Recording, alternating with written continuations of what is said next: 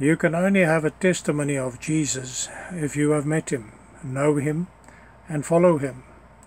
Many believers do not have a testimony. They do not know Jesus. Their confession of faith is void, empty, worthless. We need to be witnesses for Jesus by our testimony that he is alive and real to us.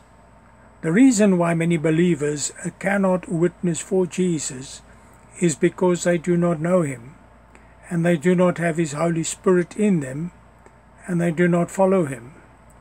Before Jesus ascended to heaven, after his crucifixion and resurrection, he instructed his disciples to go to Jerusalem and wait for the Holy Spirit, the Comforter that he had promised. He said, You will receive power when the Holy Spirit has come upon you, and you shall be my witnesses, both in Jerusalem and in all Judea and Samaria, and even to the remotest part of the earth. Acts chapter 1, verse 8. He said, You will receive power when the Holy Spirit has come upon you. They needed the power of the Holy Spirit to be effective witnesses. After receiving the Holy Spirit, Acts chapter 2.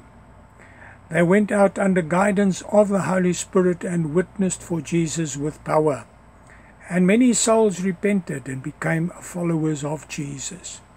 The only way that we can bear fruit for the kingdom of God is if we are effective witnesses with real testimonies of Jesus Christ. Our testimonies result from our relationship with Jesus, being guided and empowered by the Holy Spirit.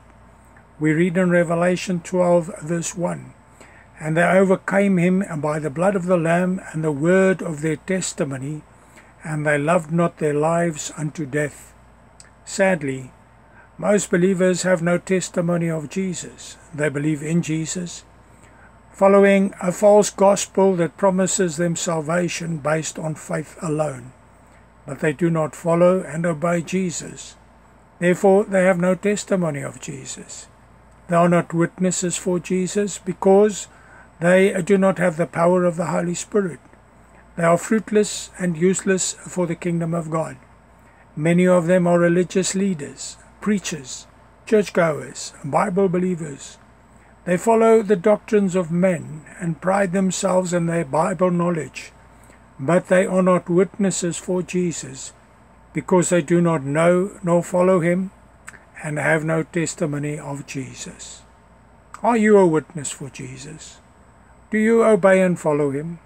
Have you repented, been baptized in water, and have you received the Holy Spirit? Do you follow the guidance of the Holy Spirit?